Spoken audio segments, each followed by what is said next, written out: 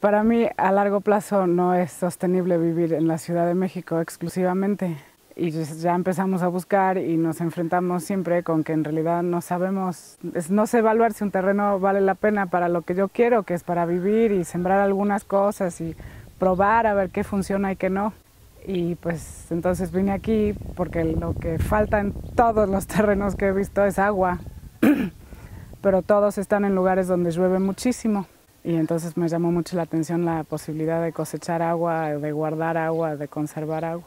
Ya con lo que tengo puedo evaluar este contra este y un poquito qué posibilidades tendrían y cuánto costaría, qué, tanta inversión hay que meterle para que la cosa funcione. Pues me da una manera más ordenada para, para pensar en los, en los terrenos. Entonces ahora puedo centrarme un poco más y, pensar con orden, porque a veces lo que pasa es que como uno no conoce bien el tema, piensa muchas cosas, pero no sabe plasmarlas o juntarlas o ordenar qué tiene más prioridad que otra cosa.